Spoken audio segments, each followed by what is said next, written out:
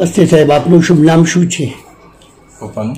આપનું નામ? જય શાહ. જયેશભાઈ આપ ક્યાંથી પધાર્યા છો? સુરતથી. જૈન વાણિયા છો? જૈન ધર્મનો એક નિયમ છે કે પુણ્ય ચીંધેલું પુણ્ય બહુ જ મોટું હોય છે.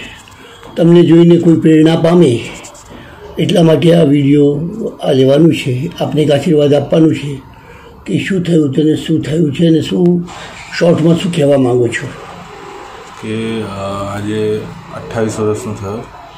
અઠ્ઠાવીસ વર્ષમાં લેફ્ટ ઇયરથી મેં સંભળાતું નથી. ફોન ઉપર કોઈ દિવસ મેં લેફ્ટ ઇયરથી વાત નથી કરી. અઠ્ઠાવીસ વર્ષથી. ઓહો.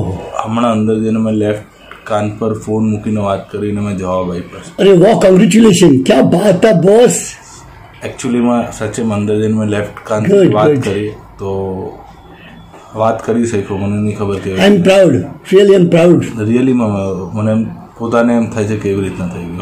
બિલકુલ સાચી વાત છે. સાહેબ સંસારની અંદર મને બી લાગે છે કે અમે લોકો શું ભોળપણમાં શું કરી દીધું છે. આખા વિશ્વની મોટામાં મોટી શોધ થઈ ગઈ છે.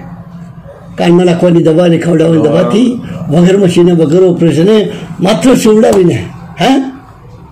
હું બી એકદમ શોક છું કે કેવી રીતના થઈ ગડ ગડ અને ક્યાં ક્યાં બતાવ્યું હશે ત્યાં બચપનમાં પણ મેં બધે જ બોમ્બેમાં લગભગ ત્રણ ચાર મોટી મોટી હોસ્પિટલોમાં બતાવેલું છે.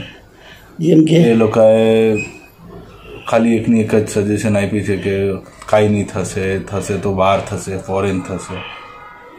ફોરેનમાં બી કોઈ ઇલાજ નથી હા નથી ઈલાજ નથી એ લોકો મારી પાસે આવે છે લોકો હા વિદેશથી આવે છે. કેવી રીતના થયું છે હવે? આ તો ચમત્કાર જ છે અમારા ચમત્કાર નથી ટ્રીટમેન્ટ છે. મારા માટે ચમત્કાર છે ખરેખર ઈશ્વરની કૃપા છે કે ટ્રીટમેન્ટ સરળ અને સીધી થઈ ગઈ છે. આપણે કંઈ ઓપરેશન નથી કર્યું સર્જરી કંઈ છેડ્યું નથી. બે કલાકમાં મને બી થોડું શોખ લાગે છે કે કેવી રીતના જબરદસ્ત.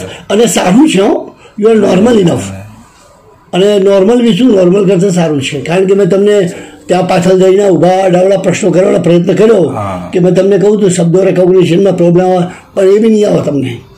નહીં નહીં મને વાત કરી એટલે મારા મોટે બહુ મોટી વાત છે કે કેવી રીતના વાત થઈ મારા. વાહ ક્યાં વાત છે boss thank you very much God bless you I am proud of you મને તમારાથી કેમ પ્રાઉડ છે? ખબર છે કે તમે નોન મેડિકલ ટ્રીટમેન્ટમાં ભાગ લીધો વિશ્વાસ કર્યો યાર?